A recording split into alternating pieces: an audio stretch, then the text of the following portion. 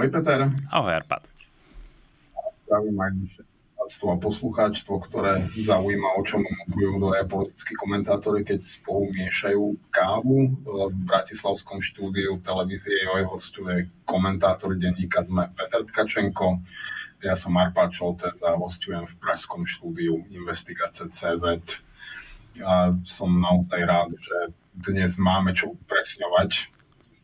Konečne sa od teba dozvieme na 50, teda v jednej veci presné fakty a v druhej sa dozvieme, že vlastne presné fakty neexistujú, len rôzne interpretácie. Poďme na to. V podstate tak.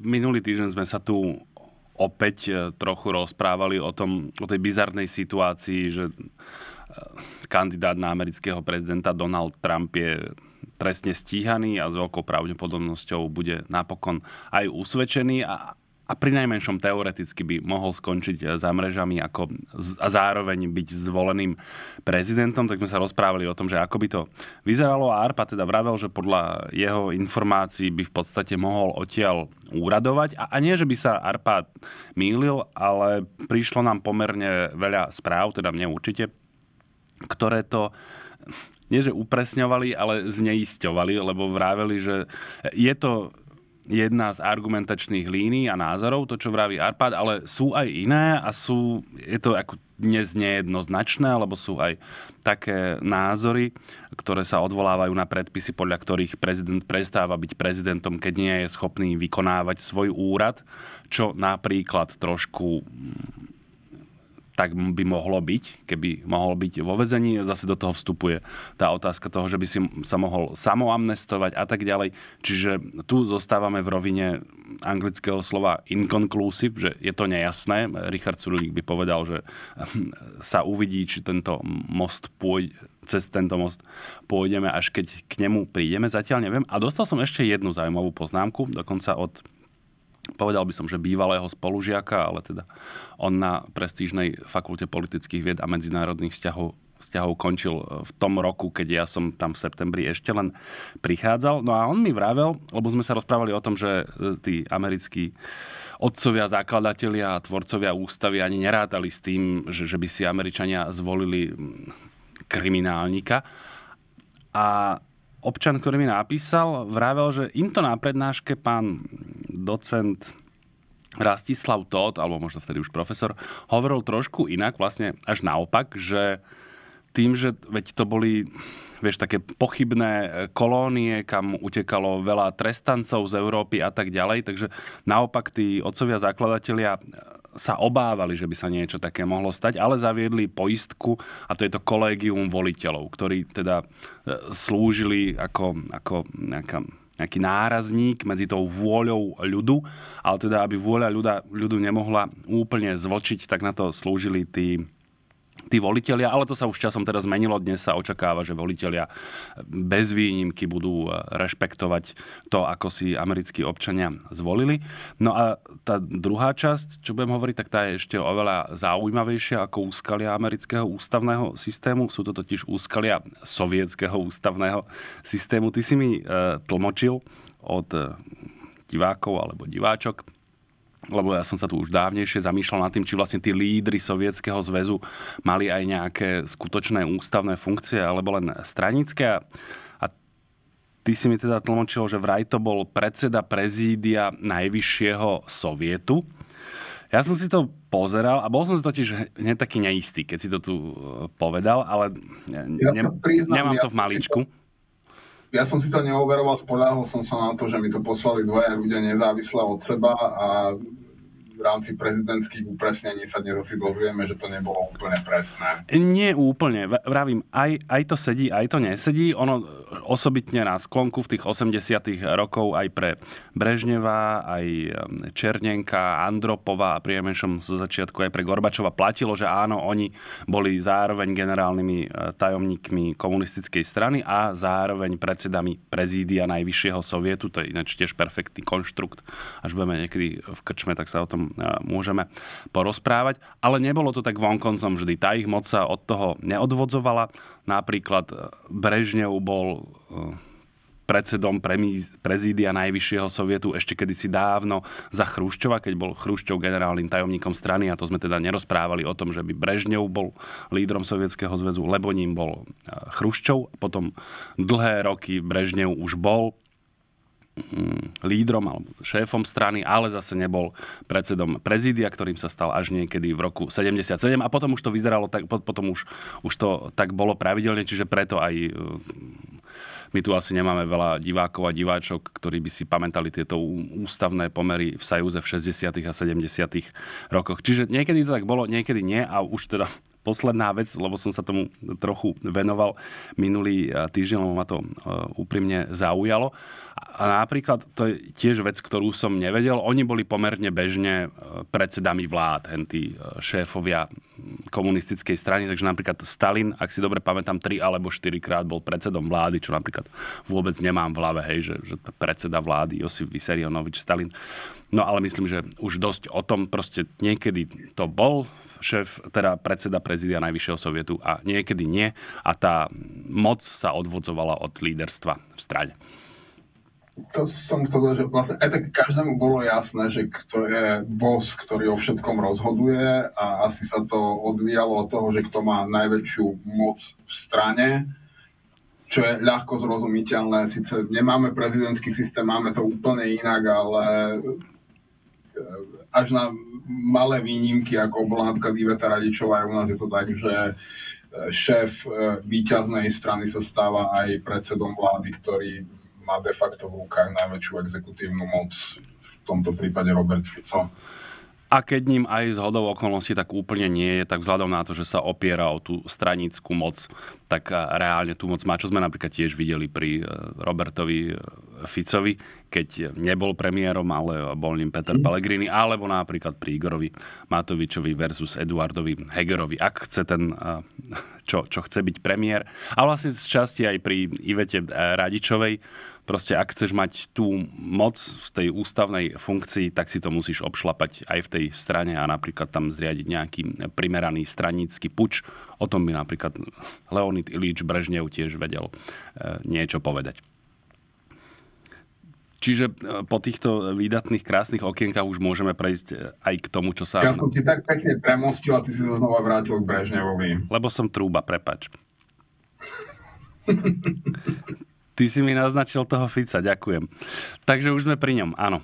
Už sa nám... E, nebudeme zastierať touto úplne najviditeľnejšou udalosťou. Bolo to, že po koľkých troch týždňoch? Sme ho videli predstúpil pred eh, verejnosť predseda strany a vlády Robert Fico.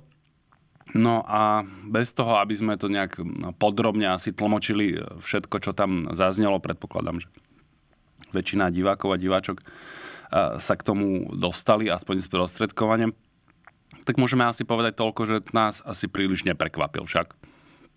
Mňa určite nie.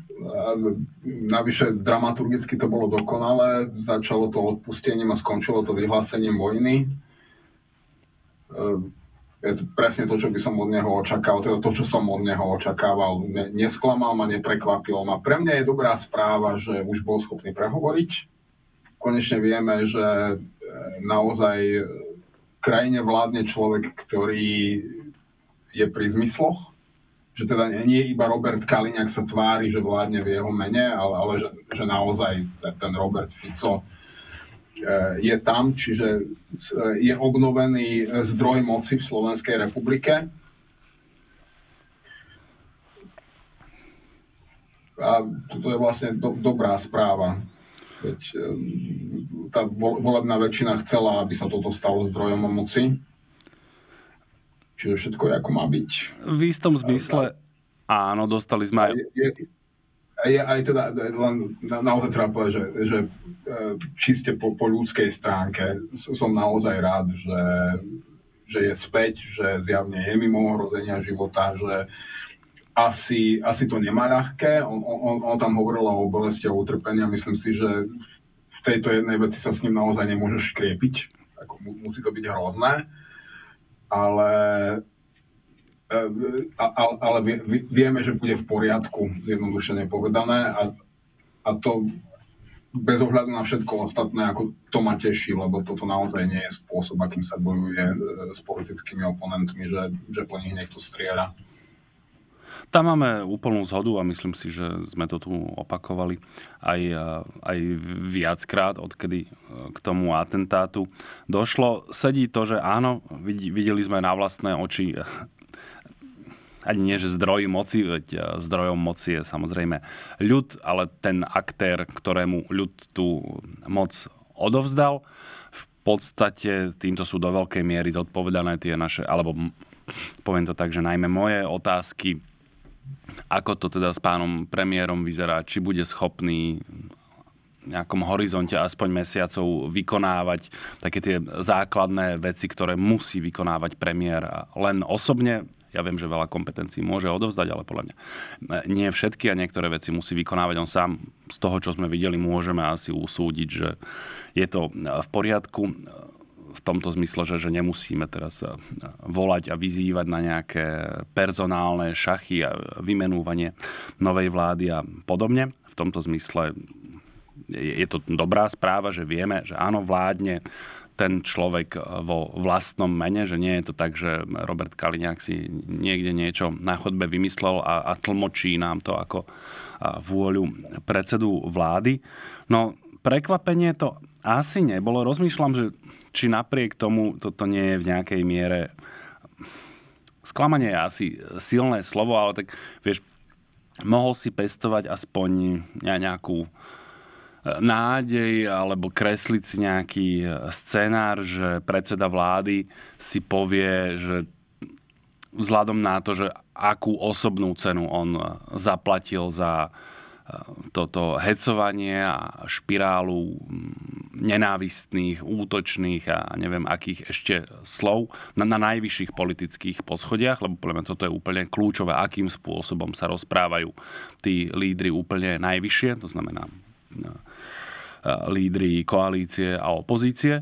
No a, a ja som si z tohto zobral, že pre Roberta Fica toto nebola taká udalosť, ktorá by mu povedala, že ten vývoj doterajší bol krízový a teda by bolo treba urobiť nejaké zmeny ja nebudem teraz hovoriť samozrejme, že on by si želal ten atentát alebo niečo podobné. To ani náhodou, to si vôbec nemyslím a, bolo vidno, že ho to psychicky aj fyzicky zasiahlo, ale napriek tomu z toho nevyvodil konsekvencie také, že by bolo potrebné niečo radikálne meniť, aby sa ten vývoj zmenil. Nie, jemu tento vývoj zjavne v tom ako sme to hovorili na matematike, no, tam sme niečo derivovali, také vektory z toho vyšli, že proste ten, ten, ten základný určujúci vektor, ktorý vedie všetky tieto udalosti, že on je v skutočnosti žiaduci.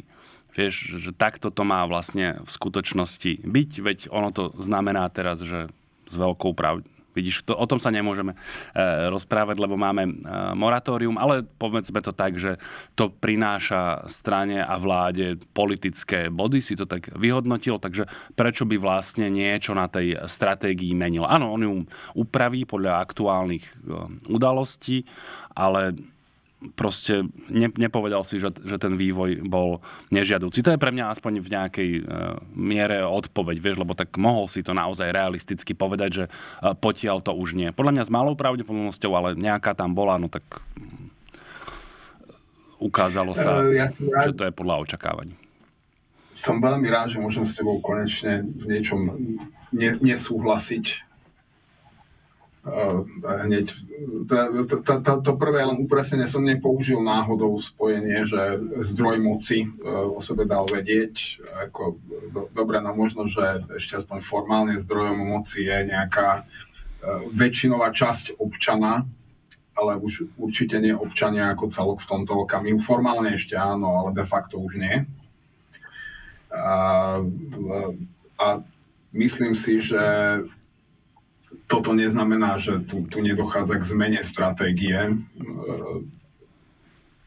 no, alebo do, dobre, no však ten základný vektor bol, že smerujeme k autoritárskemu štátu. Ja si myslím, že teraz sa to posunie. E, jednoducho veci zajdu oveľa ďalej a oveľa rýchlejšie, ako sme mohli predpokladať e, pred ostatnými parlamentnými voľbami alebo tesne po nich. Myslím si, že toto už bude smerovať k niečomu horšiemu, ako je len bežné autoritárske zriadenie, skôr to bude nejaká forma diktatúry.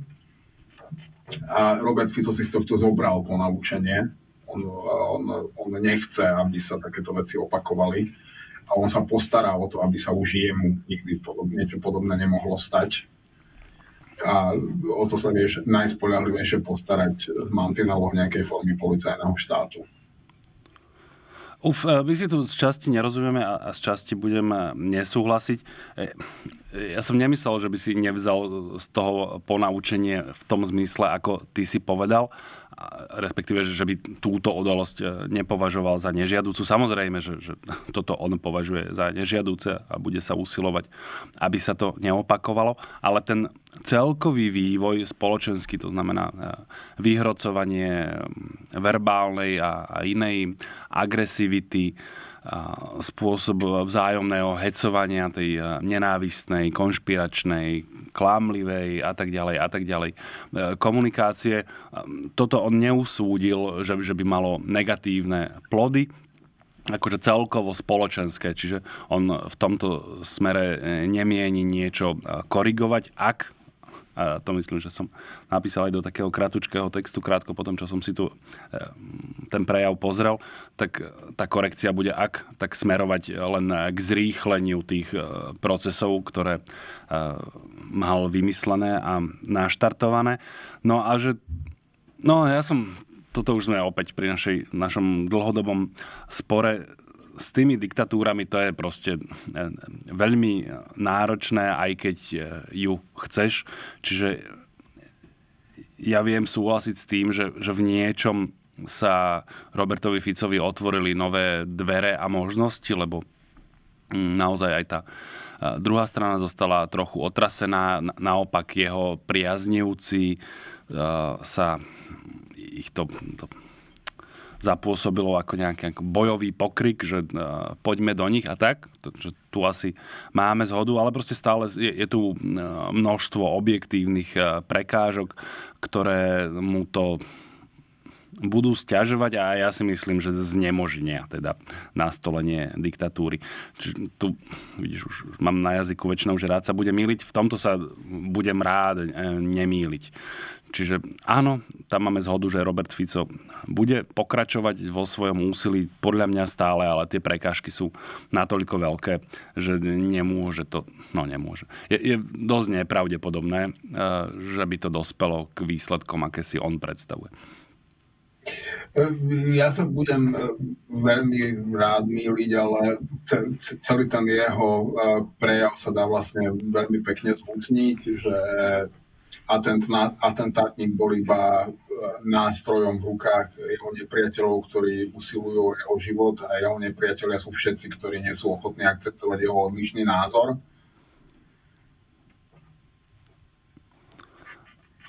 No áno, veď e, tam máme zhodu, ale to stále proste neznamená, že vzhľadom na to, že on toto povie, tak e, bude od 1. januára 2026 nastolená diktatúra, alebo neviem čo to. Áno, to, to znamená, že, tam, že on bude... Tam treba dospieť, ale e, dobre, ja, ja ti ten odkaz ešte zjednoduším. Chceli ste ma zabiť. A teraz počkajte, čo bude. Ale ja tomu stále rozumiem, ale stále proste platí to, čo som vravel. Vieš, že e, veľa ľudí si môže a asi aj povedalo v nejakej fáze, chceli ste ma zabiť a počkajte, čo bude a, a narazili na mantinely e, svojich možností. To tak proste napokon vždycky bude. Ja som osobne zvedavý, čo, čo všeli, čo bude. No, teda, to je zvedavosť taká trochu zvrátená, lebo to e, zjavne nebudú dobré veci. Ale no, už by som sa opakoval to, že on chce urobiť úplne hoci, čo neznamená, že má na to možnosti. De- deň predtým, ako sa objavil Robert Fico na videu, eh, čo na- naozaj to bola pre mňa úľava, že sa objavil, lebo nech, nech to bude akokoľvek, aspoň, aspoň vieme, že, že naozaj on funguje a je to, je to jeho vôľa, čiže vieme, čo môžeme očakávať. Eh, bola taká iná tlačovka eh, Roberta Kaliňáka s jeho ľuďmi, ktorá mala ča, čarovný názov, že na počiatku bolo slovo a to slovo bolo svinia. Dokonca tam aj použili vizuál e, filmu, ktorý bol nakrútený z okolnosti podľa môjho románu a potom tam niekomu vyčítali, že používal slovo svinia v rôznych kontextoch. E, v mojich očiach je to teda zďaleka nie je také agresívne ako e, fa- facky mokrou rukou a americké kurvy a podobné veci, ale veď dobre, asi každý citlivejšie vníma, keď má pocit, že útočia na neho, než ako keď on útočí na iných. Čiže vieš, keď, keď tebe niekto povie, že si svinia, tak sa ťa to dotkne viac ako sa ťa dotkne to, keď niekomu dáš pesťou po hube, lebo to, to len trochu boli ruka.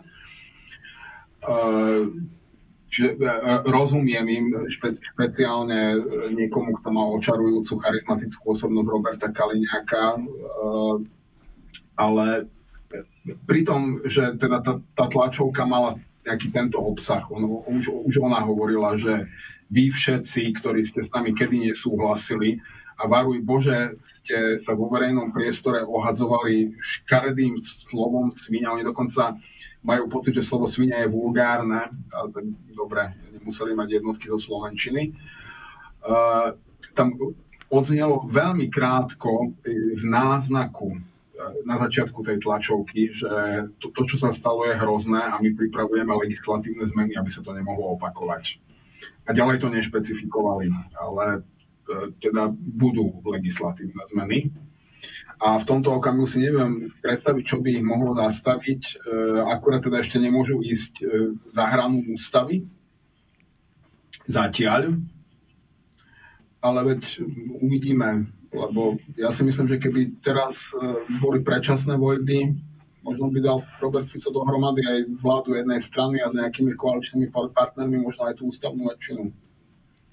To možno áno, to je veľmi problematické. Ja som tú tlačovku, ktorú zmienuješ, vydržal pozerať naozaj relatívne krátko, vzhľadom na to, koľko trvala, ona ja sa zdá, trvala vyše hodiny, no tak ja som tomu venoval asi 17,5 minúty svojho života. Bol tam Robert Kaliňák, Tibor Gašpar, ak si dobre pamätám, a Marek Para.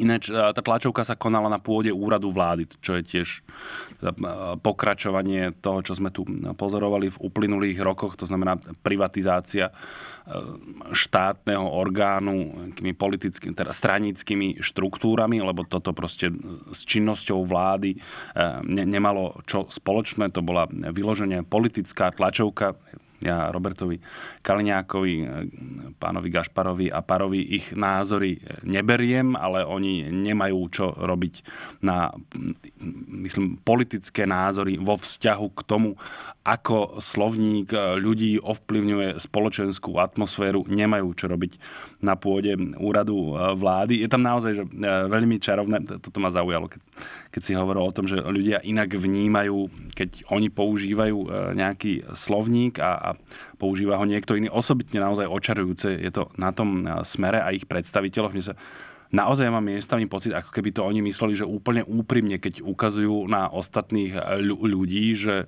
to oni používajú nenávistný slovník. Ja sa naozaj musím niekedy... Ja tomu vlastne nie som si celkom istý, či si z nás robia posmech a proste rozprávajú hocičo, pretože môžu, alebo sú o tom naozaj úprimne presvedčení, pretože niekedy takým dojmom aj pôsobia. Mne to pripomenulo jednu scénku z môjho obľúbeného seriálu Yes Minister, kde jeden z politických pracovníkov tam vysvetľuje také politické nepravidelné časovanie. Ja skúsim upraviť na naše pomery. To znamená, že rozpráva treba člen Smeru, ale povedzme si pokojne aj nejakej inej strany, keď komentuje ten slovník, ktorý používa on a jeho politickí súperi a oponenti, tak to časuje asi tak, že ja mám expresívny prejav, ty hecuješ a on linčuje.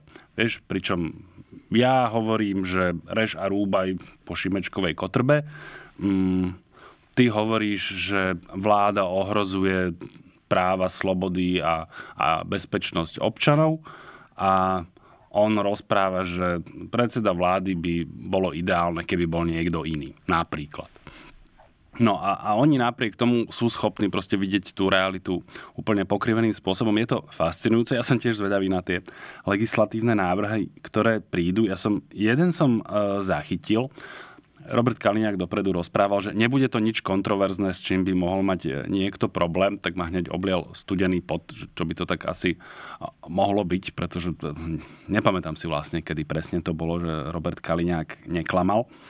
No, a, ale zachytil som jeden taký návrh, že má sa týkať slobody zhromažďovania a že nemá sa, nemá byť umožnené na zastávanej ploche alebo niečo také. Ne, neviem, či už to je aj legislatívny návrh e, vlády. Musel by som to vidieť a nie som akože právnický odborník, či to teraz akože má znamenať, že budú zakázané zhromaždenia v mestách a budeme sa môcť zhromažďovať akurát na lúke alebo čo. Čiže som tu len opatrný, ale pochopil som, že napríklad týmto smerom môžu ísť. E, vravím, som zvedavý a podľa mňa, keby oni mali dobrú vôľu, čo si teda obávam sa, že nemajú, podľa mňa by sa dalo akože o, o všeličom úplne normálne rozprávať, zvolať stôl odborníkov, politikov, bárskoho a, a, a viem si predstaviť v niektorých veciach o, o niečo e, prísnejšie zákony. Hovorím o niečo, to, to neznamená nejako významne, ale presne ako hovorí. Na, na, napríklad taký zákon, ktorý by ťa obmedzil v tom, keby si chcel uh, použiť uh, pochodovú pieseň fašistickej hlinkovej gardy na to, aby si vyzýval na rezanie a rúbanie svojho politického oponenta, teda, pardon, svojho úhlavného smrteľného nepriateľa alebo že by si nesmel vyzývať ľudí, aby zobrali uh, lopaty a palice a išli vymlátiť úrad vlády alebo zbúrať parlament? Vidíš napríklad uh, takáto, toto je zaujímavá poznámka. Áno, viem si predstaviť, že naša trestná, lebo toto je vec trestného práva, sloboda slova, možno, že sa potom dostaneme k tomu ešte aj obšírnejšie, lebo bola ešte jedna veľmi pekná tlačovka. No, že v trestné právo sa bude trochu prísnejšie pozerať na rôzne expresívne politické vyjadrenia, ktoré by sa dali interpretovať ako výzva k násiliu. Lebo tam musí byť sme sa tu o tom asi rozprávali tiež, že e, splnená nejaká objektívna podmienka na to, aby si trestne stíhal ten, tento typ vyjadrenia, že musí byť uveriteľné, a, alebo na, na tých ľudí, recipientov to uh, musí mať potenciál pôsobiť tak, aby naozaj nejako konali. Vieš, že preto keď hráš mariáš a zakričíš na niekoho, že ja ťa zabijem, tak nie, nebudeš za to trestne stíhaný v drvej väčšine prípadov, lebo je zrejme, že sa to nemyslí úplne mm, doslova. Ja by som to tiež nemal ľahké, lebo tiež by som bol už na vypočúvaní z toho, či svoju dceru naozaj chcem roztrhnúť ako hadicu, lebo občas jej to vravím. No ale tieto vyjadrenia, osobitne, ktoré si menoval, mne sa zdá, že z takých vysokých politických poschodí, ako je líder opozície alebo alebo dokonca predseda vlády, že áno, na to by sa mohli pokojne e, policajné e, donúcovacie a justičné zložky pozerať oveľa prísnejšie. Akurát mám obavy, že Robert Kaliňák napríklad e, nemyslel tento typ vyjadrení. Alebo vie, že prísnejšie by sme mali proste nastavenú dehonistáciu verejne činných osôb, ktoré...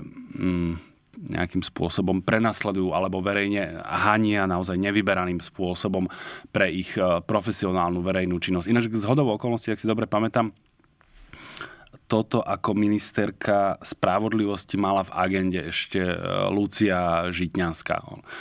Zdá sa mi, že to bolo po vražde Jána Kuciaka, lebo tam bolo dôvodné podozrenie, že on bol terčom toho násilného vražedného aktu pre, pre svoju profesionálnu činnosť a že na toto by sa vzťahovali prísnejšie podmienky, keď na ľudí útočíš takýmto spôsobom. Napríklad, že sú novinári, ale, ale to som nemyslel teraz doslova, môže to byť hocičo iné napríklad.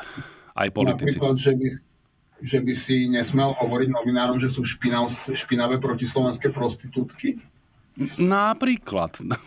Ja neviem, prečo ty takto zlomyselne stále vyťahuješ tie e, vyjadrenia len z jedného brehu, ale napríklad by som mohol použiť výraz, aby som to trošku vyvážil, ktoré použil druhý podozrivý z opačného brehu v takom jednom príspevku cez týždeň. Myslím si, že o, o novinároch hovoril ako o nejakej liberálno-progresívnej bande.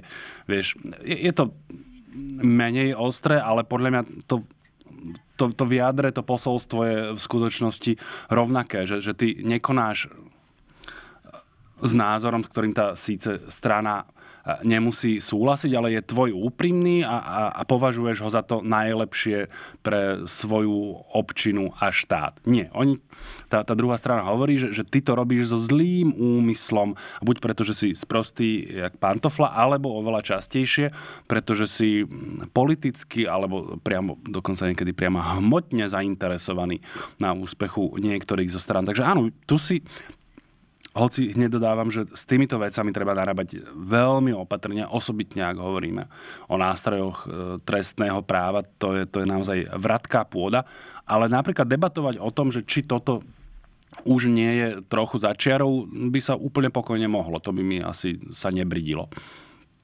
Mňa napríklad panda neuráža a v podstate ma nebude urážať ani keď ma budú nazývať liberálno-progresívnym, ale mohlo by to uh, urážať progresívcov, že ich prirovnávajú ku mne.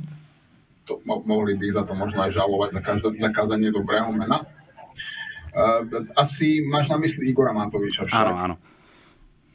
Len, vieš, tam je ten problém, Igor Matovič nie je opozícia Roberta Fica, on je jeho konkurencia a to naozaj nie je to isté.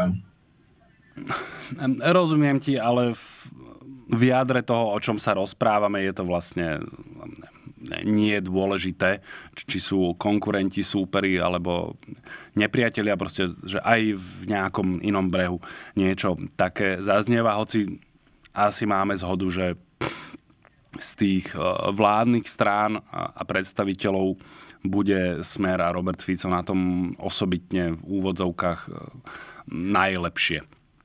Možno, že ešte nejakých ďalších jednotlivcov by sme našli, ale tam je tá komunikácia štruktúrálne takto nastavená.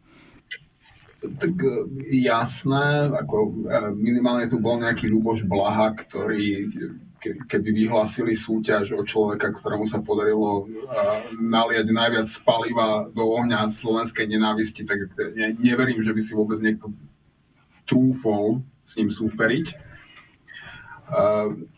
ale e, pre mňa to je dôležité, že či sú oponenti alebo konkurenti, lebo e, keď, keď berieme, že systémom minimálne do roku 2023 aspoň nominálne bola liberálna demokracia, tak oni sú obaja vlastne antisystémoví populisti a nie sú jediní na scéne.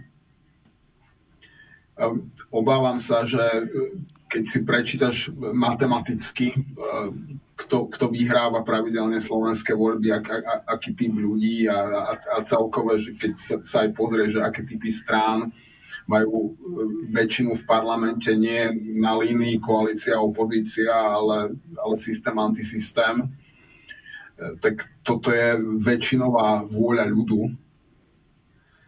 A to, ja si myslím, že keby toto chcel Robert Fico naozaj, že tieto vzorce správania tlmiť, moderovať, e, či varuj milý vesmír, že zaraziť, tak by naozaj išiel po, proti vôli väčšiny svojho národa a to on teda robiť nebude. Tu, tu ide len o to, že ako to zatrhnúť svojim nepriateľom a ja si myslím, že v tom bude úspešný. To uvidíme.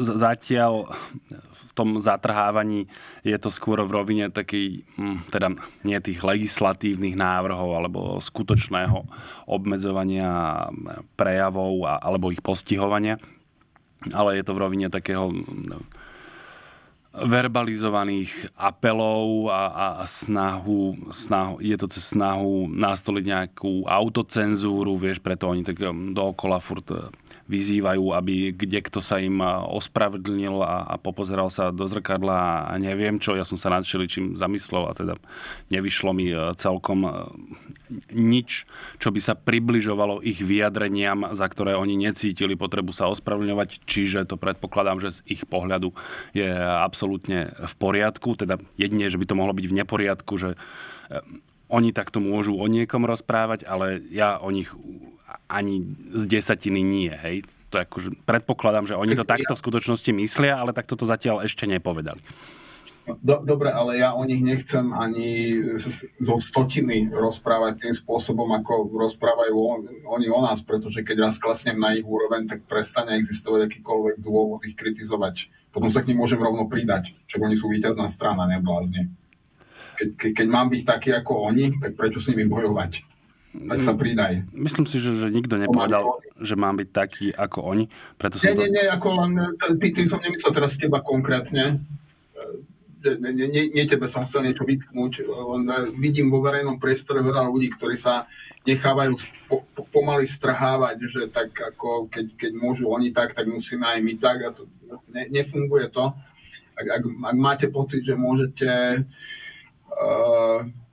klásť odpor uh, tým istým spôsobom, akým uh, vás títo ľudia momentálne valcujú, tak ste v háji, lebo to ste sa vlastne pridali. Akurát oni majú väčší valec a vy menší, no hádajte, kto vyhrá. Uf, na toto inštinktívne mám taký názor ako ty, ale nie som si istý, či to funguje až úplne e, do dôsledkov. Ale nie som pripravený na toto uvažovanie, tak, tak možno moja analogia bude teraz akože problematická, ale chcel som povedať, že v nejakom okamihu ty už vlastne musíš bojovať rovnako ako tá druhá strana, vieš, keď ona na teba vytiahne revolver, akože teraz to myslím, že doslova, tak, tak aj ty tak e, trochu musíš. Akože ty síce oprávnene, na, na rozdiel od nej, lebo ty, ty si v seba obrane, ale rozumiem, že tak ďaleko nie sme, či, čiže tá, táto analogia je problematická a, a rozumiem ti, čo si chcel povedať, že a, a, a súhlasím, že áno, nemôžeme uh, zájsť tak ďaleko, lebo sa mi zdá, že to nebude viesť k víťazstvu. Preto aj s takým celkom rozčarovaním sledujem, ja v podstate pôsobím na e, jednej sociálnej sieti, kde počujem e, názor e, ľudí z toho vlastne mne bližšieho okolia. A mne sa zdá, že začína silnieť názor, že to sú také tie výkriky, že, že kde je opozícia a, a prečo to nerobia ráznejšie a, a potrebujeme proste niekoho, kto to proste im vytmaví a tak, čo mne sa zdá, že aj za tie uplynulé tri týždne som tu rozprával, že mne sa vlastne ten opozičný výkon páčil, že jasne, v podstate pomenovali tak, ako to vidím ja, že ten atentát je samozrejme tragédia a nemalo k tomu dôjsť. Bola tam nejaká snaha nájsť spoločnú reč. Tá, tá snaha bola neúspešná to zna- a to znamená teda, že dobre, nebudeme sa rozprávať spolu, no tak budeme rozprávať o vás, čo, čo nám na vás prekáža a to, to aj naďalej robia a podľa mňa normálnym spôsobom, že nenechali sa strhnúť tou, tou hecovačkou, o ktorú sa podľa mňa tá druhá strana intenzívne usiluje. A, a počujem tu také volanie po niekom, kto by sa strhnúť nechal a trochu ma opäť oblieva studený pod, lebo minule to výborne vyšlo, vieš, keď, keď si vybrali toho, toho najúvrešťanejšieho. Áno, Igor, Igor Matovič je vždy e, po ruke, keď treba e, klin húlváctva vybiť ešte väčším klinom húlváctva. To, to vieme. E, mo, vlastne on by teraz mohol byť vo svojom živle, nie? Mohol by byť, ale celkom nie je. Mne sa zdá, že oni sú v takom celkom vážnom útlme, že naozaj aj, aj ten štatút... V takom zľaknutí by som povedal. Taký sú... Zase to sme si už vyjasnili, že Igor Matovič má tiež problém s charakterom, nie s intelektom. To mi ale trvalo, kým som ti to celkom, nanútil. Celkom kvalitne sa on teraz bojí bojí, myslíš, že v zmysle o svoje... O svoju budúcnosť. Akože osobnú alebo, alebo politickú? Osobnú, osobnú. Nie, nie o politickú, osobnú. Zaujímavé. Toto som... On je človek, ktorý má dostatok predstavivosti, aby si vedel predstaviť, čo všetko zlé by sa mu mohlo stať. To mi... On, e, povedame sa málo kto vie lepšie vcítiť do rozmýšľania Roberta Fica v tomto okamihu ako práve Igor Matovič nebudem sa vôbec sporiť, ale vôbec mi to nenapadlo, no, musím povedať. Mne sa zdá, že on, on má poprvé pocit... Po, poviem to uh, trochu inak. Je, dlhodobo ja si uh, všímam na ňom, že on poč, používa také slova, že sa na ňom pácha alebo proti nemu vedie, a preto si to všímam, že používa slovo doslova, že doslova lynč, vieš. No a A zaujímalo ma, že teraz, potom, keď naozaj bol doslova niekoľkokrát e, projektilom postrelený predseda vlády, či si to odpustí a nie presne v tom, e, v tom príspevku na sociálnej sieti s tou, s tou nejakou liberálno-progresívnou bandou, či čo to tam bolo, tak opäť spomínal, že on bol doslova linčovaný, alebo je doslova linčovaný tou e, liberálnou-progresívnou bandou. Čiže mne sa zdá, že on to vníma tak, že veď jemu sa už nič horšie nemôže stať, veď on už je bez tak e, linčovaný, 27 krát ukryžovaný a, a neviem čo. Ale nevidím mu do hlavy, čiže ja tu e, ten ich útlom vnímam skôr v tom, že ako keby mali pocit, že nikoho nezaujímajú. Teda konečne v podstate... To by mohol byť správny pocit. Čiže aj tie jeho stiažnosti, že ako sa po ňom stále niekto vozí a, a, a robí mu zlé od že mne sa zdá, že to žije trošku v prelude, však nie, že by sme si uh, občas niečo nepovedali, ale naozaj on tu nie je stredobodom nejakého odporu alebo, alebo výhrad a podobne novinárskych, ani, ani žiadnych iných. Naozaj to, dospelo vlastne do stavu, že on málo koho zaujíma a v podstate ho používame najmä ako ilustráciu teda ilustráciu toho, čo sa kde stanovil precedens, aby ho Robert Fico mohol rozvíjať a nafúkovať. Áno, on, on urobil veľkú časť špinavej roboty za Roberta Fica, to, to sa už opakujeme týmto, týmto hodnotením situácie. Aj keď možno je to dobré občas ľuďom pripomenúť, keby náhodou mali pocit, že opäť treba vyrážať klin klinom. Lebo vyrážať klin klinom je trochu ako keď ideš liečiť choleru tyfusom. Vidíš, toto e, vytvára priestor na trošku také okienko. My sme sa o tom rozprávali pred tým, ako sa e, zapli kamery, lebo my sme teraz akože v moratóriu. Chcel som premostiť, chcel som premostiť. Klin, klinom. Choleru tyfusom. Choleru tyfusom VHO. Áno. Uh, dobre. Či to chcela neskôr? Ma, mal som to, to naplánované neskôr. Le... Uh, chcel som ešte totiž k tomu, toto je v podstate taký disclaimer k tomu moratóriu, ktoré práve teraz sa deje a trochu sme rozmýšľali teda, ako k tomu pristúpiť. Ja som si schválne zodpovedne pozrel aj, čo sa píše v zákone a tam sa píše, že počas tých dvoch dní moratória, respektíve v deň volieb a dva dní predtým, sa nesmú uverejňovať informácie, ktoré by kandidátom pomohli alebo ublížili. Takže ja som sa snažil kandidátom vyhýbať, ale technicky vzaté Igor Matovič kandidátom je. Na druhej strane on úplne otvorene vraví, že on vlastne v skutočnosti nekandiduje a nikam nejde, čiže toto by nemuselo byť porušenie moratória podľa mňa. A potom, veď my žiadne informácie nezverejňujeme, vieš, toto je akože brblanie všetky. My sme sa nepriniesli nič nové, my tu nie sme e, spravodajský kanál, čiže to sa podľa mňa absolútne e, neuznáva. No a, a žiaden typ agitácia alebo naopak ani odhovárania samozrejme tu nevedieme. Naopak je veľa ľudí, ktorým sa tento typ pôsobenia, ktorý sme pomenovali, e, páči, čiže nech len pokojne pokračujú e, v tom, čo im velí presvedčenie a, a rozum. Ak je niečo, čo na súčasnej vládnúcej garnitúre oceňujem, to je to, že naozaj že nie sú pokryteckí po, pomerne otvorene ukazujú, že akým spôsobom chcú vládnuť a čo chcú dosiahnuť a to, to môžem len oceniť. Aspoň sa netvária, že e, prišli posilňovať demokraciu a právny štát ako tí pred nimi. To teda sa netvária. Teda občas slobodu slova, k tomu sa dostaneme, ale teda keď už si nadhodil to VHO, tak e, môžeme ísť e, k tomu. Nie sme na to asi ani jeden z nás odborníci, ale ono je aj veľa tých kadejakých medzinárodných organizácií, ktoré schvalujú tisíc všelijakých štandardov, predpisov, vyhlásení, barčov, o ktorých sa e, drvivá väčšina občanov e, nikdy v živote nedozvie a prechádza to konsenzami alebo veľkými väčšinami a tak, lebo naozaj veľakrát ide o technické záležitosti. A predpokladám, že jednou z takých vecí boli aj nejaké nové a updateované, upravené medicínske či lekárske postupy alebo neviem čo e, Svetovej zdravotníckej organizácie. No ale tá sa dostala do nepriateľského hľadáčika niektorých e, predstaviteľov tejto koalície, ktorí na to dostali mandát nielen od voličov, ale potom aj od vlastne od e, vlády. No a, a medzi jedného z takýchto mohikánov patrí poslanec a splnomocnec pre vyšetrovanie covidu Peter Kotlár. No a keď už raz ako sa vraví, keď raz máš e, v ruke kladivo, no tak všetko vyzerá ako klinec.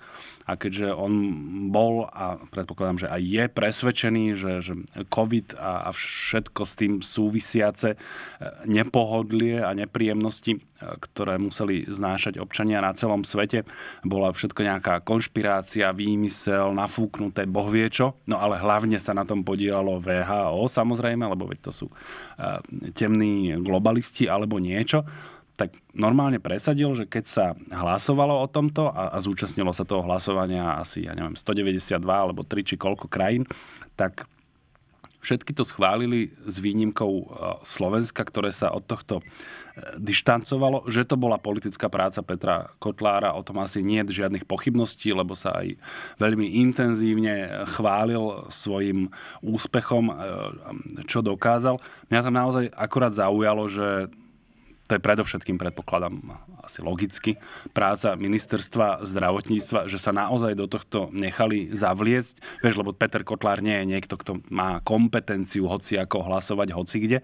To robí, predpokladám, vyslanec ministerstva zdravotníctva a že z akého titulu sa nechali presvedčiť, aby mu tu vyhoveli teda trochu rozumiem, že je to vyhoveli politickému želaniu a zadaniu, ale prečo by si to robil pre prospech niekoho takéhoto vec, z ktorej ty nebudeš mať vôbec nič, tomu sa mi rozumie teda ťažko a je to ďalší krôčik v ústretí úplného rozpadu štátu. Keďže hovoríme e, asi o nejakých postupoch v prípade hroziacich pandémií a keďže už ne, nežijem na území Slovenskej republiky, musím povedať, že správu som zachytil a je mi úplne ľahostajná v tomto okamihu. E, ak, ak Slovensko nebude v prípade nejakej smrteľnej, rýchlo sa šíriacej nákazlivej choroby postupovať tak efektívne ako okolité krajiny, no tak stráti viac populácie ako okolité krajiny. Ak to tak Slováci chcú, tak to tak budú mať, no. Ja si nie celkom myslím, e, že to Slováci chcú. V tomto treba ináč poznamenať, že hovoríme o zástupcovi SNS. A v tomto kontexte ma veľmi zaujalo, bol myslím, že Tomáš Taraba asi. E, minulý týždeň v debate s opozičným e, politikom, nespomínam si teraz, či to bol e, Michal Šimečka, ale nie je to konec koncov dôležité a on sa na ňo tak nejak oboril, že ak kto ste vy, my sme vyhrali voľby a tak ďalej a tak ďalej a tak ďalej. Ja som na to pozeral, že a, a vy ste kto, pán Tomáš Taraba? Vy, vy ste naozaj voľby nevyhrali. Vieš, to je ako z toho vtipu, že ide Taraba vedľa Fica po moste a hovorí, že ale dupeme, čo? Vieš, že to je 5,4% proste nikto podľa aktuálnych preferencií, tak od oka 3,5 čo napríklad z časti nám dá odpoveď na to, akú reálnu silu má tá strana napríklad najbližšie voľby. A on tu rozpráva, že ako oni vyhrali voľby a aké majú všelijaké právomoci a možnosti. Nech sa páči. Len ťa chcem vykorigovať. E, Tomáš Taraba ani Peter Kotlar nie sú z SNS. Dokonca ešte aj a oni nie sú SNS. A žiadnej strany nevieš, akú majú preferenciu. Dobre, tak ich preferencia nie je viditeľná voľným okom, povedzme to takto. Na, na, naozaj, to je proste, že tá, tá otázka, kto ste vy, by mala byť namierená v skutočnosti na nich. Hej, že akú máte štruktúru, o čo vy sa opierate, kde máte akú podporu, čo ste kde získali. Naozaj e, nič. A to ja teda e, nie som najväčší fanúšik Michala Šimečku vonkoncom, ale teda je to predseda strany, ktorá získala okolo 20% e, v posledných voľbách, ak si dobre pamätám, čo teda nie je úplne zanedbateľná e, politická sila. No, Čiže pri tejto správe o tom hlasovaní vo VHO mi naozaj nebolo dobré a všeli ako mi zvieralo brucho, lebo ono to asi väčšinou nemá nejaké rýchle rukolapné dôsledky, ale je to proste je to zjavná hamba. Vieš, že keď sa 192 krajín ako na, na tomto dohodne, tak asi to má niekde nejaké rácio. Ja som tomu ešte tak to boli tiež všelijaké hamby, e, toto hlasovanie v Marrakeši a istambulský dohovor a neviem čo, ktoré sme triumfálne odmietli. Ale tam som tomu akože v nejakom zmysle politické, politický rozumel. Vieš, oni si vymysleli nejakého svojho strašiaka a potom ho triumfálne porazili a aj tam bolo vidno, že síce teda ten dohovor vo veľkej väčšine uh, krajín prešiel a implementujú ho, ale teda je nejaký celý blok krajín, ktoré nie, alebo blok politických síl. Ale teda blok krajín a politických síl, ktoré by odmietali zavedenie najnovších poznatkov pri, pri nejakých medicínskych postupov. To som si naozaj nevšimol, to je naozaj len občan Kotlár proti celému svetu, teda aby sa mu nekryudil ešte zrejme nejakých sedem jeho kamarátov a fanúšikov, ale tam to zhruba končí dobrá správa z toho môže byť, ne, neviem, či to je klebeta, takže teda vlastne ona to je klebeta, takže takto to budem tlmočiť, ale som počul, že to sa napríklad nepáčilo už aj e, niektorým vysoko postaveným ľuďom v hlase, ktorí volali svojim ministrom, že či im náhodou tak trochu nepreskočilo, že, že toto naozaj musia robiť, lebo to, to nemá žiaden vplyv, teda ne, nemá to žiaden osoch pre stranu a je to proste len hamba. A, a vraj dostali pokyn, ako tam nejakými zadnými vrátkami to Slovensko vrátiť. No tak uh, dúfam, že to tak nejako bude. No. To som chcel povedať, že to, toto je podľa mňa len hamba. E, nejaký iný teda môže to mať potenciálne smrteľné následky v prípade nejakej veľkej epidémie alebo pandémie, ale inak toto, toto je naozaj len hamba a na to sme predsa zvyknutí. A hlavne, e, áno, má, máš pravdu, že oni si vymyslia nepriateľa, ktorého potom e, dokážu poraziť, lebo naozaj, keď postavíš papierového panáka, tak nie je problém ho rozkopať, on, on, on ťa ani neúdri, ani sa ti nebráni. Ale prosím ťa, aby sme sa týmto nedomáhali toho, že začnú likvidovať svojich skutočných, e, teda domnelých nepriateľov, alebo ľudí, ktorých oni naozaj považujú za nepriateľov namiesto týchto papierových panákov, lebo to bude bolieť. Čiže vlastne môžeme byť ešte aj trochu radi, hej, že je, je, je to zatiaľ takto. Áno, vieš, vieš, stále ešte, ja neviem, že homosexualita ešte nie je trestná, nezatvára sa za to do basy. Eh, keby si žil niekde na Blízkom východe, tak tam ich zhadzujú zo striech. Dobre, tak zatiaľ tak e, ďaleko nie sme. Vravíš, že teda na hambu sme zvyknutí, veď trochu áno, ale toto je naozaj nová úroveň. Tak ďaleko sme zatiaľ ešte e, nezašli. Ja som trochu rozmýšľal, že či nájdem nejakú analógiu z minulosti. Asi trochu najbližšie boli tam tie istambulské dohovory a migračné pakty, ktoré sme triumfálne odmietli.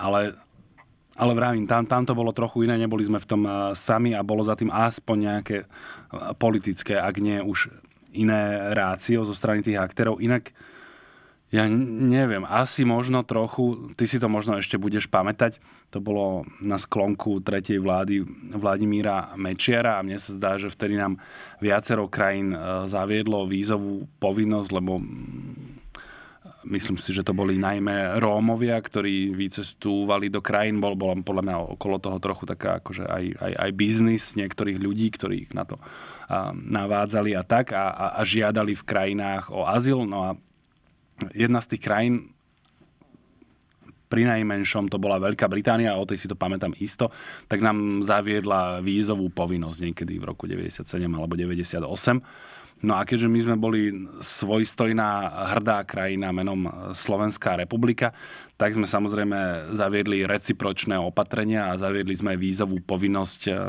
občanom Spojeného kráľovstva, čo teda bolo akurát silácké gesto, ktorým si znepríjemnil život možno 27 Britom, ktorí chceli prísť na Slovensko, ale inak to bolo úplne zbytočné. Ale aj tam vlastne bolo aspoň aké také nejaké rácio, vie, že v tej diplomácii fungujú tie recipročné kroky, že keď vy nám akože, uh, vyhodíte špióna z krajiny, tak my zase vám vyhodíme nejakého diplomata a je úplne jedno, ktorý z tých špiónov bol naozaj špión a kto naozaj diplomat. No ale tu sme zašli podľa mňa teda, to, toto je uh, no, nový stupienok na, na tomto našom pomyselnom rebríčku.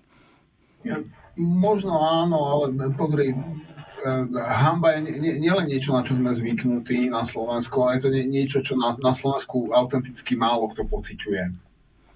Čiže vieš, ke, keď vyrobíš hambu v prost, na Slovensku, tak nenapáchaš žiadnu škodu. Čiže toto je také neškodné.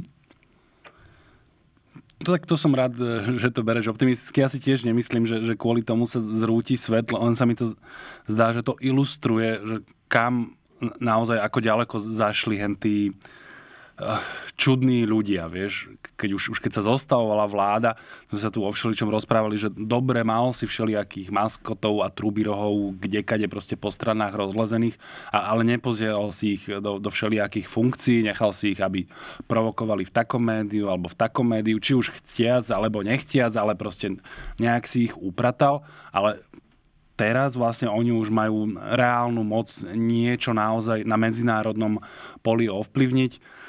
E, ja teda dúfam, že tá klebeta je pravdivá, že niekto niekde zatiahne nejakú brzdu a povie, že od určitej hranice zasa už nie. Či, či ja teraz nechcem ani, ani len formulovať e, autentickú nádej, že sa niečo naozaj otočí.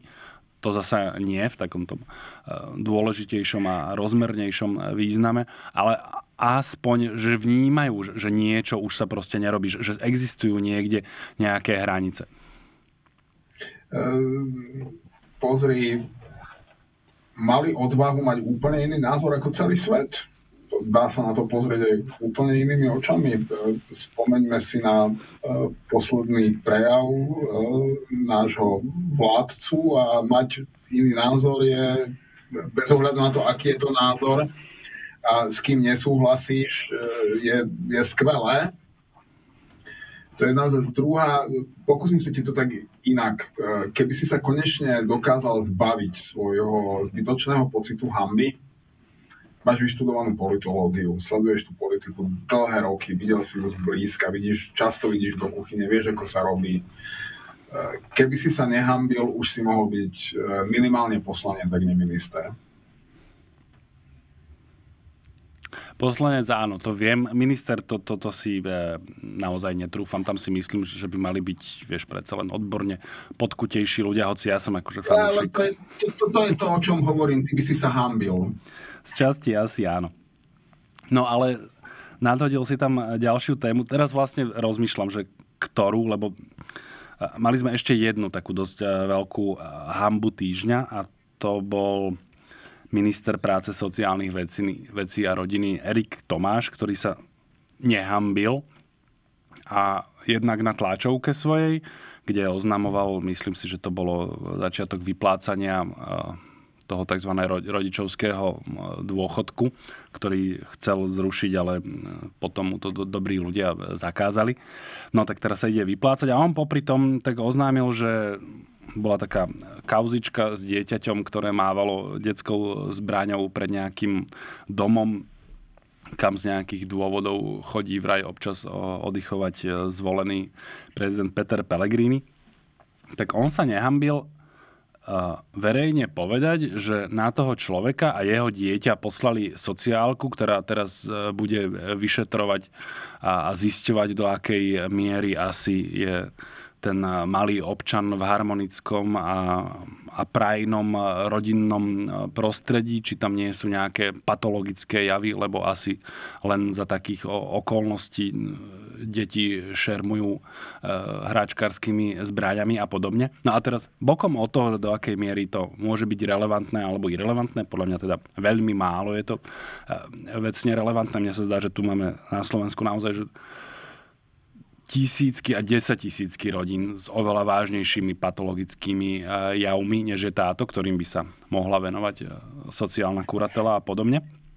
A teda, že aj keby to bolo vecne na mieste, to ako si môže proste nejaký minister toto dovoliť e, verejne o tom informovať, že tam a tam toho my teraz popoťahujeme a kontrolujeme. Ja rozumiem, že on to robí z politických dôvodov, ale toto je tiež za, za hranicou toho, čo je akokoľvek aj, aj v akom hociakom špinavom politickom zápaj, zápase prípustné, pretože on si nie len, že do toho zápasu vtiahol človek, ktorý proste v žiadnom zápase nie je, to je proste občan, ktorý má právo všeličo si robiť, vieš, keď aj, aj neférovo útočíš na politických konkurentov, je to proste iný žáner, ale on si proste vybral normálneho radového občana, to po prvé, a po druhé ešte proste jeho dieťa, kde on teraz akože verejne informuje, že, že kto si ho, že, a, že ich budú nejakým spôsobom vyšetrovať to ja považujem za, za niečo tak strašne nehorázne. A teda osobitne u Erika Tomáša, možno, že si pamätáš ešte na kauzu Čistý deň, ty si na ňu pamätáš celkom isto. Ako Erik... Chcel som ju spomenúť, že, lebo ty si tu hovoril o nejakej sociálnej kuratele, no Uh, a, a nie je to len čistý deň, spomeňme si na tie tzv. polepšovne, to, to bol taký že čerstvejší škandál na Slovensku, že v akom sú stave, že uh, nič nie je devastačnejšie a toxickejšie pre dieťa, ako sa dostať do rúk sociálneho systému na Slovensku a sociálnej kurately. Ak chceš, aby z niekoho vychovali, že trosku, uh, psychopata, Eh, bezdomovca, človeka nespôsobilého postarať sa sám o seba, zver ho do rúk svojej dobrej vlády a jej sociálneho systému. To je evidentné, že tam, tam naozaj na deťoch nezáleží vôbec nikomu. Ale zase tá, táto vec má také dva aspekty. Jedna, že otec, ktorý toto dopustí, lebo že tá situácia bola povedzme jednoznačné, ako jemu to asi prišlo ako, ako skvostný vtip. Ne, ne, ne, nemôže to byť úplný Einstein. Ako v tej situácii... To je každého občianské právo. No. Na tom konkrétnom mieste. No áno, to, že na, na rodičovstvo neexistuje licencia ani vodický preukaz, akože môžeš byť mentálna subnorma, pokiaľ ti fungujú reprodukčné orgány a máš partnerku, ktoré fungujú reprodukčné orgány, tak sa staneš rodičom a máš všetky rodičovské práva ja to rešpektujem, a, a, ale ako po, povedzme si, že, že ten otec je vlastne tiež dobrý kus bola. To, to áno. Druhá vec je, že keď sa postaví minister e, sociálnych vecí a normálne na plnú hubu povie, že a my ho za to teraz budeme šikanovať, lebo môžeme, to nie je iba, že on si ide urobiť dobre, aj keď viem si predstaviť, že práve v prípade tohto konkrétneho ministra, že jemu to naozaj urobí dobre, akože vnútorne, že on sa, on sa bude cítiť fajn, že môže a, a že niekomu stúpi na krk, lebo tým ako keby stúpne jeho vlastná dôležitosť.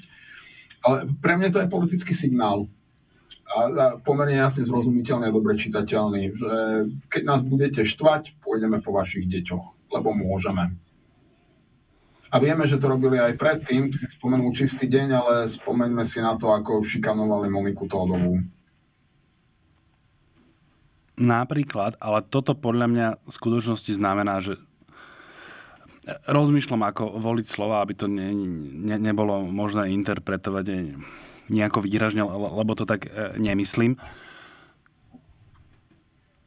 Na to, keby som bol politik, tak na toto si dávam veľký pozor. Či, či hoci ako naznačím, že pôjdem po niekoho deťoch, lebo z vlastnej skúsenosti viem, že v tejto veci proste rodičia nemajú zmysel pre humor. Akože, že všeli, čo sa môže, všeli ako strpíme, znesieme, zavreme oči alebo ohneme chrbát a hocičo, ale proste akože na deti nie. To sa proste nerobí a no, toto proste aj politici by, by na toto mali pamätať, že môžu ublížiť sami sebe. Teraz mám na mysli samozrejme vieš, politicky. Vieš, čo majú spoločné rodičia a autoritári? Absolutný nedostatok zmyslu pre humor. Majú ho úplne amputovaný.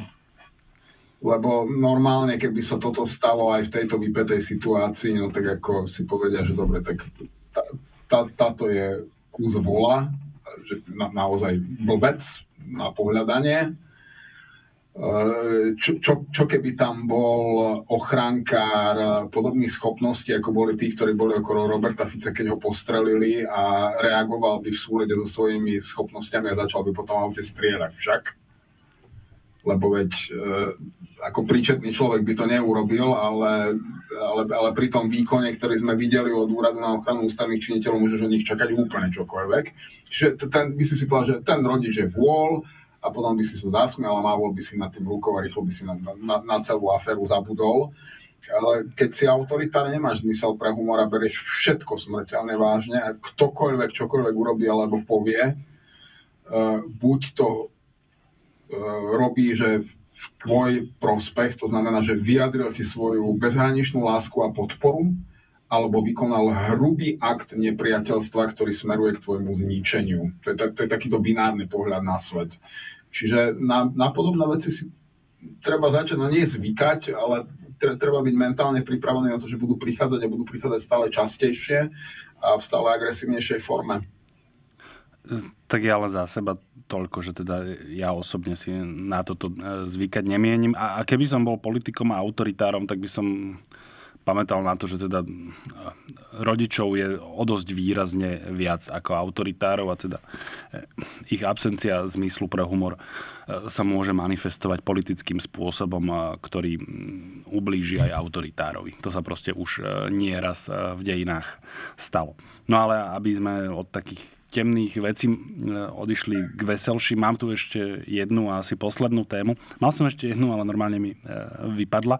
Takže nám tu zostala asi najzábavnejšia udalosť uplynulého týždňa a to je spustenie kampane za slobody slova, ktorú iniciovali na úrade vlády pán Gedra s Erikom Kaliňákom a možno ešte e, niekto iný. Dokonca sa v uliciach alebo pri cestách už objavili billboardy o, o, o rešpekte k názorom a, a slobody, slobode slova, čo je naozaj v podaní hen toho intelektuálneho výkvetu smeru celé veľmi zábavné pozorovať, lebo oni si naozaj podľa mňa buď pletu, alebo alebo nerozumejú, alebo proste naozaj očividne e, klamu a, a miešajú dokopy akože úplne nejaké odlišné veci. Vieš, oni, v tom ťažení za, za rešpekt k názorom a tak, tak vlastne hovoria to, to ich ťažiskové, že treba rešpektovať, že vláda, ktorá bola zvolená, alebo ich všelijaké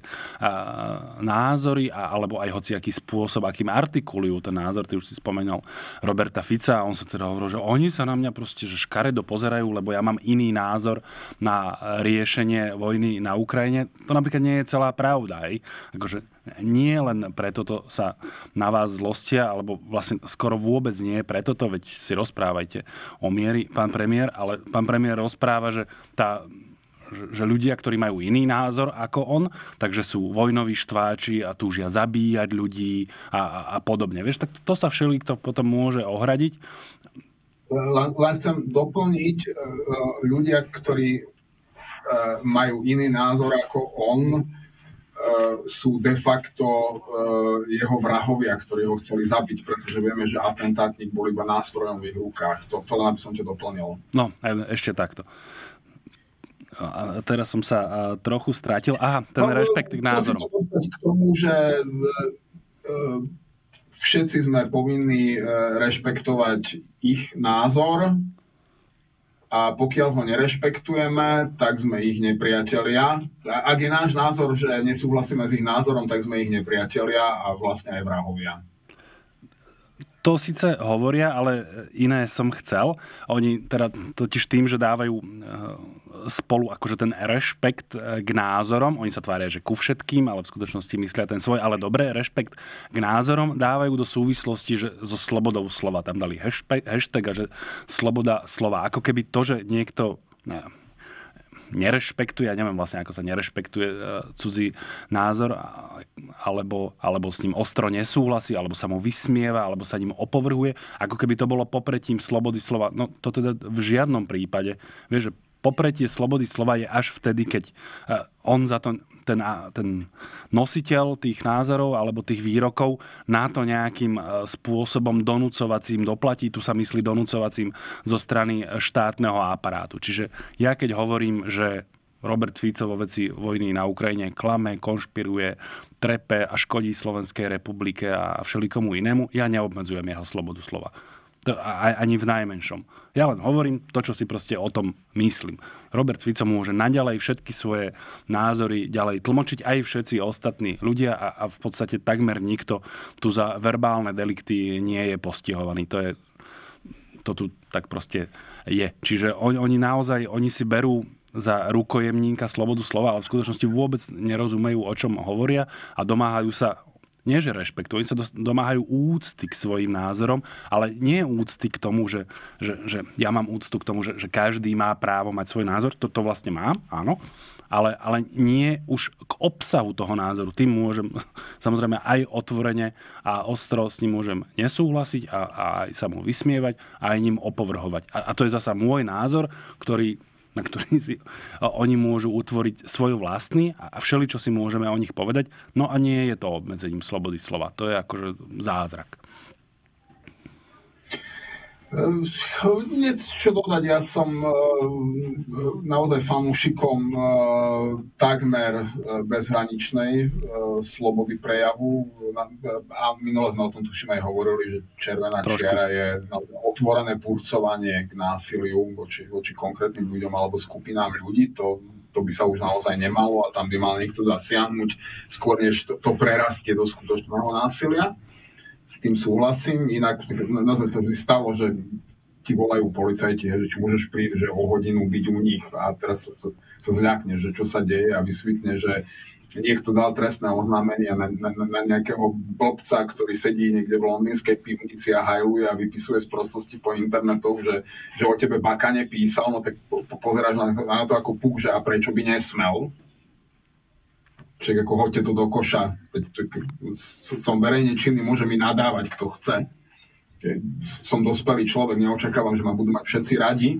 Ale, to je asi aj o tom, že musíš byť dospelý a musíš byť tak trochu aj sebavedomý a musíš si byť vedomý toho, že ťa do veľkej miery definuje aj to, že kto a prečo ťa nenávidí a že to vlastne môže byť podstavý znamenanie, keď ti niektoré typy ľudí veľmi vulgárne nadávajú. To, to naozaj môžeš nosiť ako vyznamenanie v istom zmysle. Pokiaľ si nedospelý, si si sám sebou neistý, ešte taký ten, ten, ten, ten ušliapnutý, ktorý má nejakú formálnu funkciu, ale aj tak neverí, že ho niekto berie vážne, lebo on sám seba on, on sám seba dobre pozná a vie, že neexistuje dôvod, aby ho niekto bral vážne, no tak ten je potom veľmi citlivý na to, keď mu niekto povie, nie že niečo škaredé, ale niečo nesúhlasné.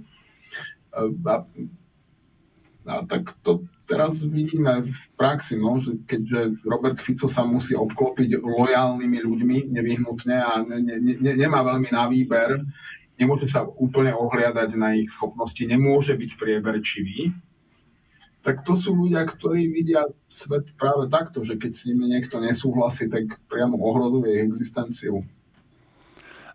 Ešte, aby som zostal pri tom, čo oni tam všeličom narozprávali a ako je to vnútorne nekonzistentné dlhodobo. To, nie je úplne prekvapenie, ale oddá sa asi občas na to upozorniť.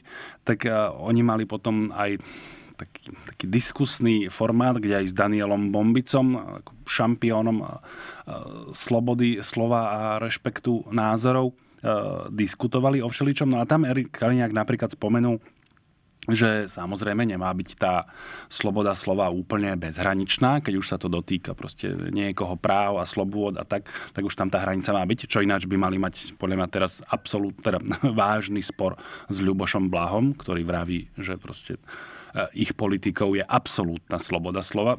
A keď tam dáš slovo absolútna, tak to znamená absolútna. Vieš? To znamená, že nemá to byť ohraničené ničím. Veď inak by si povedal, že široká, alebo že presne po túto hranicu. Nie, on zámerne povedal slovo absolútna. Ke, keď je absolútna, tak môžeš, že reža rúbaj do krve, po nepriateľovej kotrbe, môžeš, že zoberieme palice a lopaty, No, ale, môžeš všetko. Áno, len toto je presne tá debilizačná stratégia. Vieš, že, že keď treba, tak sa zaštiťuje, že absolútna sloboda slova a potom zase, že o, to zase ale musí to mať hranice, viete, to sa nesmie ubližovať. A zaujímavé bolo, že Erik Tomáš, uh, Erik Kaliňák, pardon, uh, si ako príklad vybral napríklad on svienčím skúloš. Tam akože stanovil ako na jedno z miest, že hranicu, že za toto už nie. A nad tým som rozmýšľal, lebo to napríklad takí tí zástancovia širokej slobody slova, toto je pre nich akože ukážkový príklad, že čo by nemalo byť trestné. Vieš, takmer o, hocičom je dovolené klamať, je to súčasť úplne základného balíka slobôd, ale o konkrétnych niektorých veciach vybraných luhať nesmieš. Podľa nášho trestného zákona je to napríklad e, holokaust.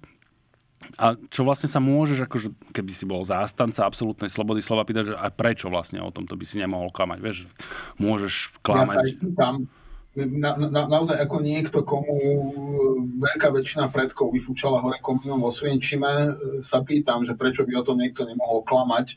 Toto po, považujem za jednu z najškodlivejších vecí, ktoré sa udiali, že by sme z toho urobili trestný čin, lebo veď ja nepoznám lepší spôsob, ako demaskovať e, nácka, ako to, že ho necháš, aby hajloval. A vieš, kto to je. Vieš, že si nemáš sadnúť za jeden stôl, vieš, že mu nemáš podať ruku, nemáš sa mu pozdraviť. Ak niekto chce klamať o zjavných faktoch, tak ho nechaj a môžeš veľmi jednoduchým spôsobom dokázať, že klame, pretože ty máš tie fakty v rukách to, toto bol podľa mňa jeden z prvých chybných krokov, ktoré dali týmto ľuďom zbraň do ruky, aby mohli začať kvičať, že oni sú vlastne tí utláčaní, oni sú ten, oni sú vlastne ten odpor voči útlaku, lebo ich tu zatvárajú, alebo trestajú ich za názor a, a veľmi ťažko sa s nimi budeš škriepiť, že, že nie, nie, my vás netrestáme za, za názor a za to, že ste hlúpáci, a, ale za, za niečo, čo sme my definovali ako trestný čin. Čiže ja som naozaj e, presvedčeným zástancom veľmi širokej slobody slova.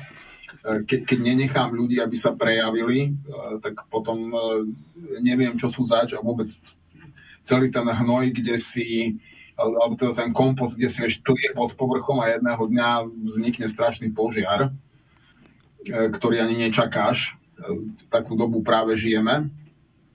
To, to som len tak ako chcel doplniť, že áno, ja som naozaj za veľmi, veľmi širokú slobodu slova.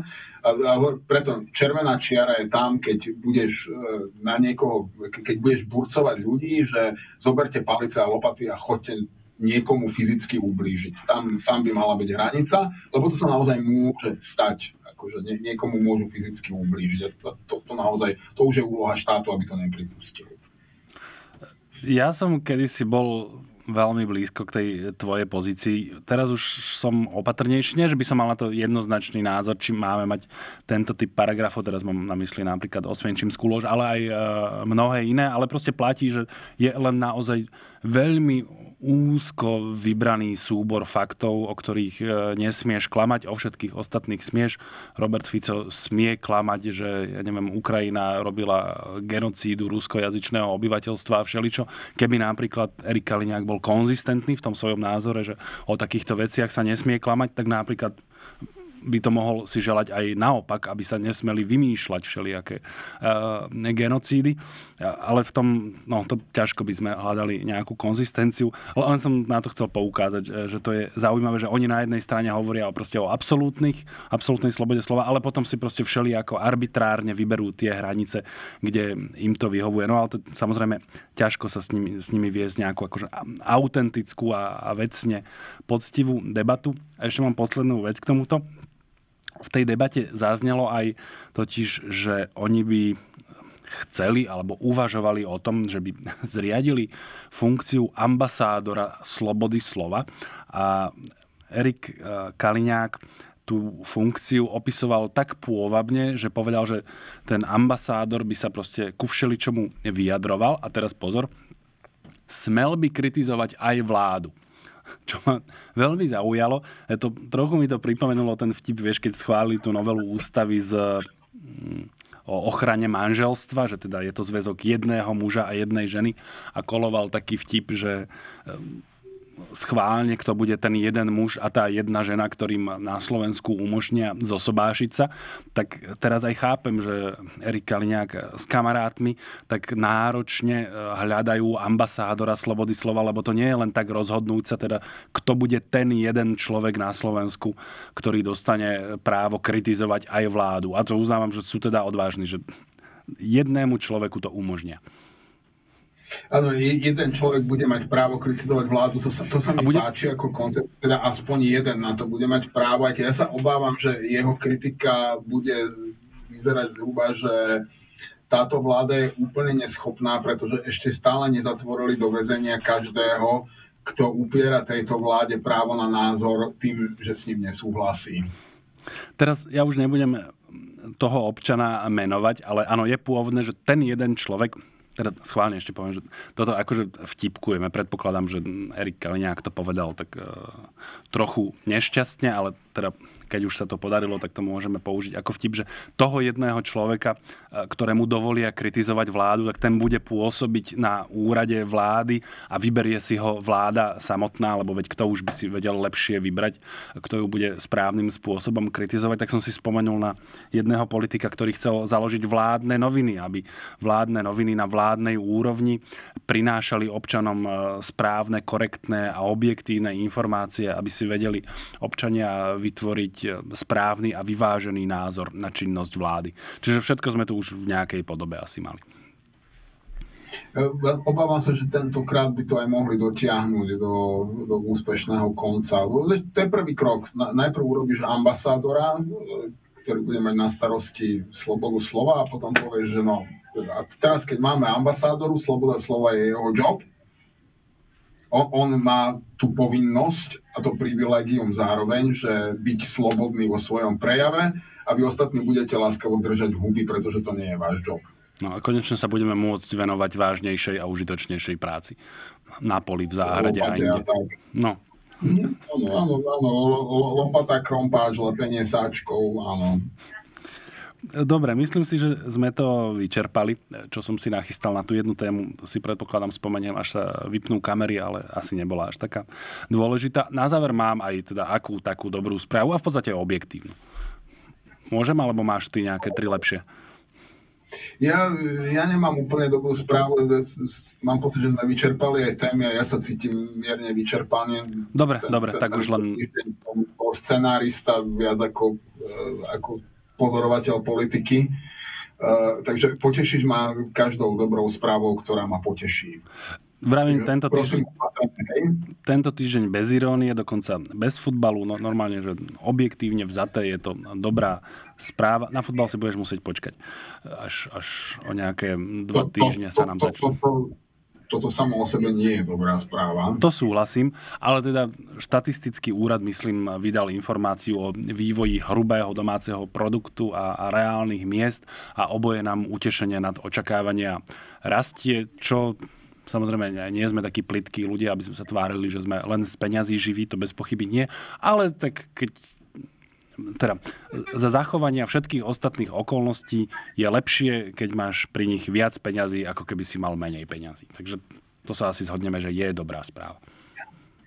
Takže nakoniec ten Robert Fico niečo zlepšil takto ďaleko by som až ne, nešiel. Neviem, či Robert Fico niečo zlepšil, ale e, stalo sa, že aj za Roberta Fica môžu rásť príjmy. Napokon to sa zase aj dialo vždy. Nie preto, že by to bol Robert Fico, ale proste ono je e, za podmienok slobodného hospodárstva Slovenska naviazaného na, na bohatšie ekonomiky by bol aj trochu už zázrak, ako nezabezpečiť, aby dlhodobo tie, tie príjmy nerástli. A takého majstra sme tu zase ešte nemali, ktorý by to dokázal dlhodobo zastaviť. Ty mu len chceš uprieť zásluhy. Taký som. Ja, tá, táto dobrá správa je kompletná, len keď ju sformuluješ, že nebojte sa, dobre bude, nech by sa dokazilo čokoľvek, za Roberta Fica budete bohatnúť a budete sa mať dobré. Ak to povieš takto, teraz som si uvedomil, že je to v skutočnosti práve tak a nie inak. Ďakujem, že si ma opravil učíme sa, nie? Za pochodu. Za pochodu, radi by sme mali možnosť mudrovať a miešať depreso aj o týždeň, tak ako musíme sa učiť nové postupy a prístupy, aby sme sa vám mohli prihovoriť aj o týždeň a dovtedy teda do počutia a dovidenia. Dovidenia. Ja budem ako na ilách, čo všetko sa ešte naučím.